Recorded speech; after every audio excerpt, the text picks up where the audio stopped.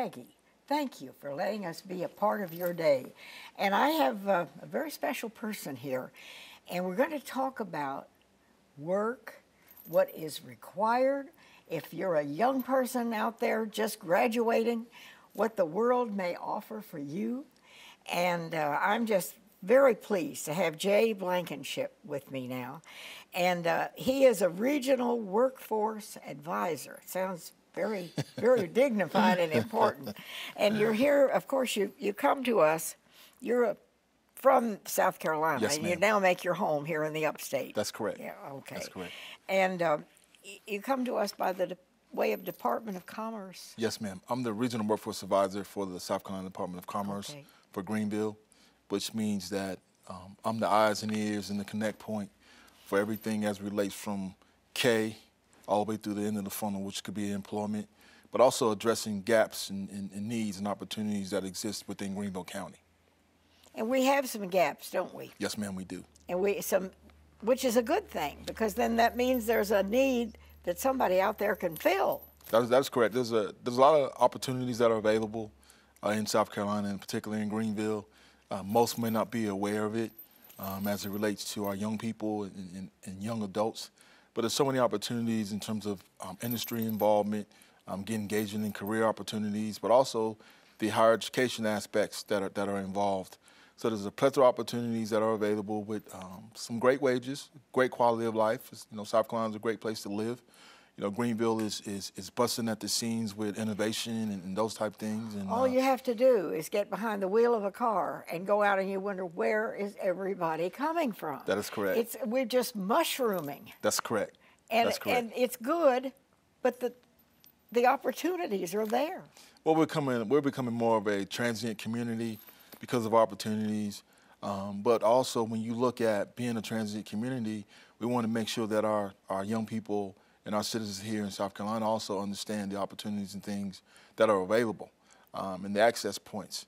And you know, one of the things that you know I'd like to talk about today is the opportunities that exist for our for our community as it relates to the completion of their high school education, but also opportunities that exist between them completing their high school education and opportunities that exist for them to get into college, but opportunities that also exist once they graduate. So your focus a lot is young people. Yes, yes. We want to make sure that our talent pool, especially in this new generation of millennials, have access points and connect points that they're aware of. Whether that's them selecting colleges based on location, but most importantly, from my perspective, I like to see young people select um, career opportunities and majors in college based on where those jobs are going to be so they can have a definable career pathway. So if you're looking to live in, let's say, Greenville, South Carolina, some of those opportunities may exist, whether it's skilled trades, whether it's manufacturing, whether it's logistics, transportation, distribution, or it could be nursing, it could be healthcare. There's a lot of opportunities out there. It could be coding. There's a lot of opportunities that are out there that in some cases don't even require those individuals to have a college education and they can still have a great quality of life. So part of my role is also make sure those individuals understand those different connect points so they'll know the proper education that they need, but also where those opportunities exist. because you want them to fit together the opportunity and the and the qualifications of the person That's correct, because what we want to make sure is one, either they have the skills that are available or they can utilize one of our resources that we have available to give them the training that they need to get the skills. But most importantly, not only building the soft skills, but the technical skills. And our new generation, um, the importance of understanding how to network, how to not only put your resume out there in front of someone, but how do you make physical contact to, to engage a 30 second soundbite about who you are and what skills that you bring to the table. And I think our young people today, that's one of the challenges that they have because everything's so mobile. Yeah. And it's all innovative. It's all widgets and gadgets and those type things. So we want to make sure that they understand how to use the widgets and gadgets and the innovation, but also be able to make the personal contact as well. And also to present themselves you know you talk about workforce readiness Yes.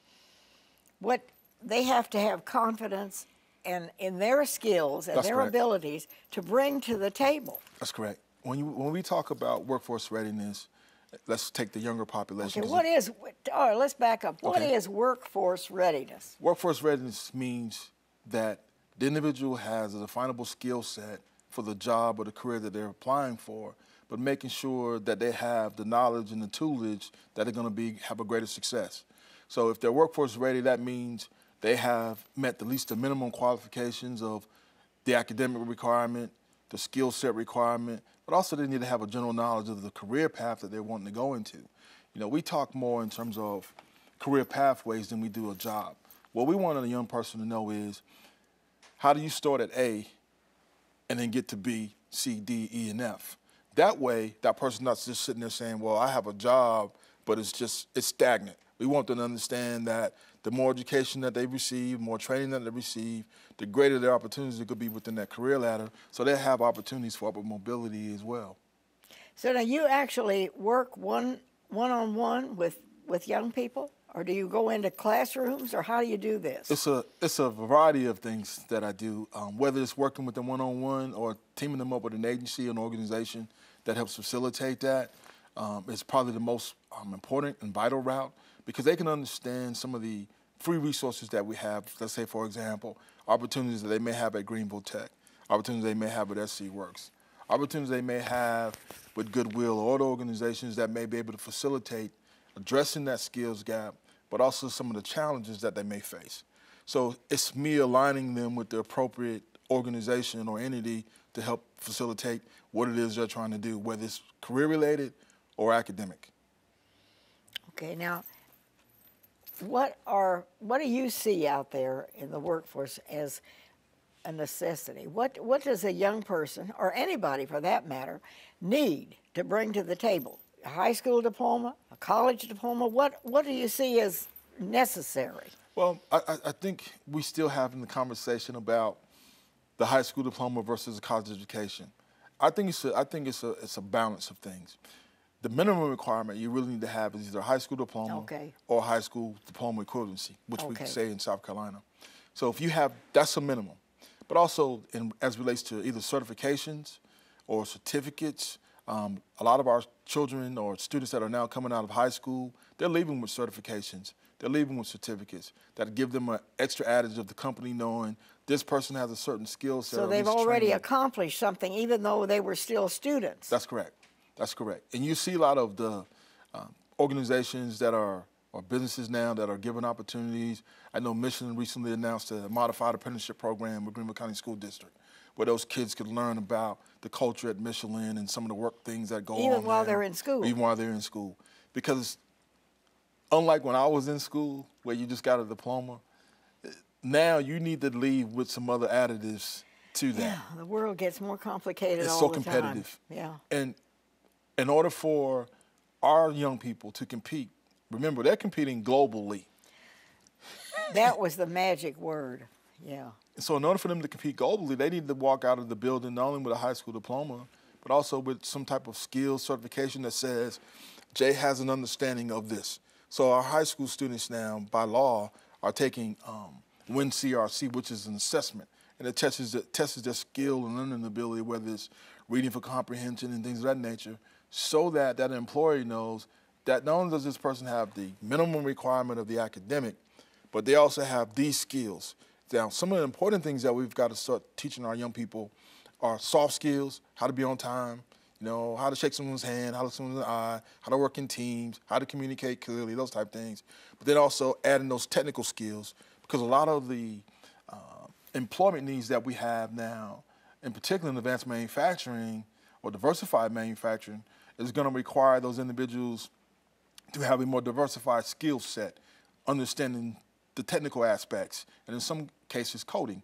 So they understand that the robots and things that are on the assembly now, now they may have to have a skill to be able to program those things, or understanding oh. measurements, how to use micrometers and rulers. And so the math and science is really very important for this age group, especially in the innovative ways, not only in just manufacturing, but you, as we were talking earlier, you look at now you know, you can order food on your phone.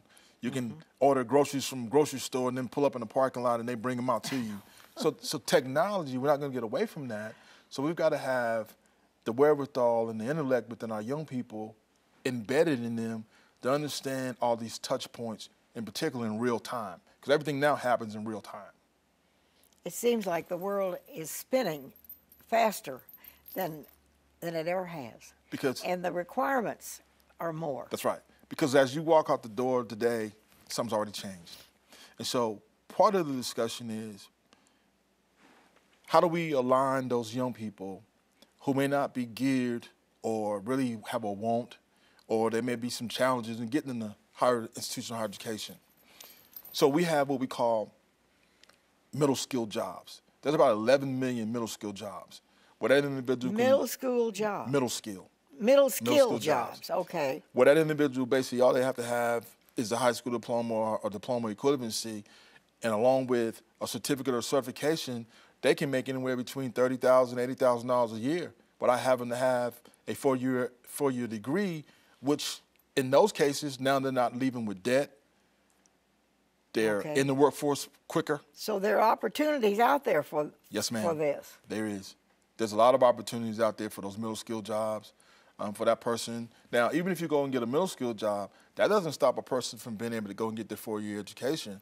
But what it does is, for example, those middle skill jobs, in a lot of ways, you have companies that have scholars programs. So, selected amount of students can go through a scholars program for a middle skill job, get the first two years of education for free don't have any debt. They're already employed by the employer. Once they graduate, they're still employed by the employer. Then they can go back on and get their four-year education, complete the last two or three years of that education. So it seems to me like there are more opportunities now than ever before. There's a lot of lot of opportunity, but the issue is most unaware of those opportunities that exist. And that's part of my role is to help facilitate and share all those opportunities that may be available within Greenville County. So Jay, you go do you go into the class classroom and talk to these young people or do you do it one on one or how do you do this? Well, I go in the classroom. I do uh, uh, speaking engagements. I hold Okay. workshops. I hold uh, seminars. I hold conferences. Um, I also go to industry. I, I provide avenues for students to get uh, access to industry tours, uh, higher education tours, help facilitate them understanding how to apply for a job through our relationships with GSHRM and other organizations, so they know the importance of how to interview, how to how to do a resume, how to give a 30 second soundbite of who they are and what they're attempting to do. Um, so it's a lot of things that go into what I do to try to help not only students but all the stakeholders that that we engage in. Okay, we're going to go to a quick break and we'll be back. And we also have a phone number which we're going to put up and leave on the screen. So stay with us.